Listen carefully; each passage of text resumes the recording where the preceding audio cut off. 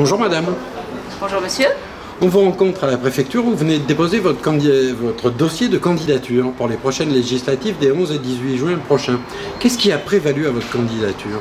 Eh bien en fait notre parti n'est pas un grand parti, mais c'est pour donner une voix aux êtres qui n'en ont pas, les animaux. Donc c'est la cause animale, euh, pour pouvoir être entendu, pour aussi euh, réunir certains électeurs pour qui euh, les politiciens sont un peu tous les mêmes et qui veulent euh, faire une petite différence à une petite échelle, chacun son combat.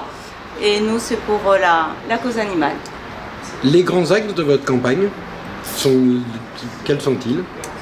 Disons que c'est le, la Pas de sujet d'économie, pas de sujet de société Non, parce qu'on est réaliste. On va pas, euh, je vais pas me retrouver élu. C'est d'avoir des voix de gens qui se sentent concernés par ce problème-là et qui veulent être entendus vraiment par rapport à, ça, par rapport à cela. Eh bien écoutez, on va vous souhaiter bon courage et vous dire à bientôt. Merci beaucoup.